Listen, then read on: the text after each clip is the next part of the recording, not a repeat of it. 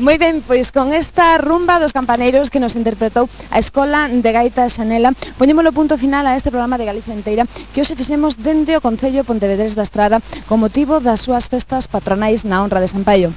Moitísimas gracias pola súa atención. Se saben que de novo mañá estaremos con todos vostedes en Galicia Enteira. Que pase moi bo día. Gracias.